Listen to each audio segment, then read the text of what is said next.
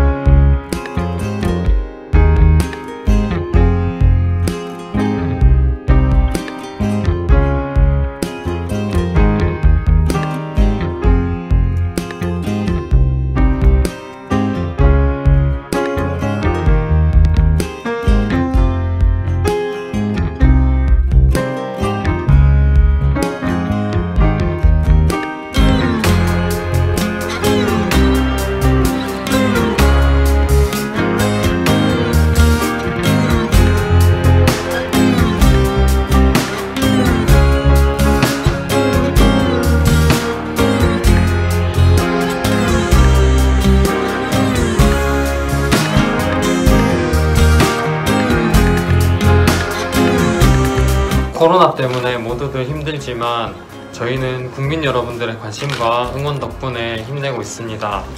어, 이 어려움을 함께 잘 헤쳐나갔으면 좋겠습니다. 힘내라! 대한민국